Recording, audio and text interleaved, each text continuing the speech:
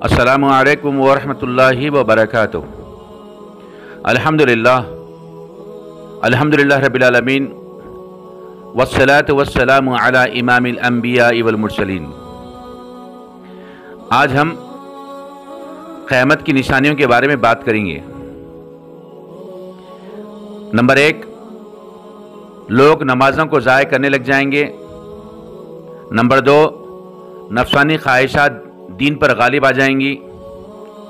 Number تین، مالداروں کی تعظیم دینداری کے بجائے ان کے مال کی وجہ سے کی جائے گی۔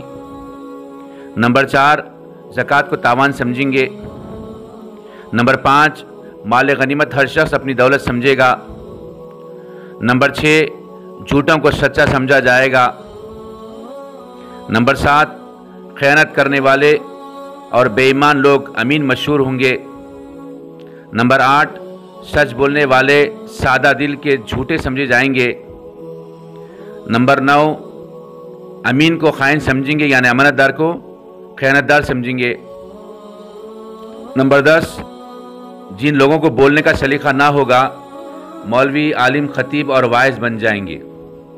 وآخر الدعوان الحمد للہ رب العالمین۔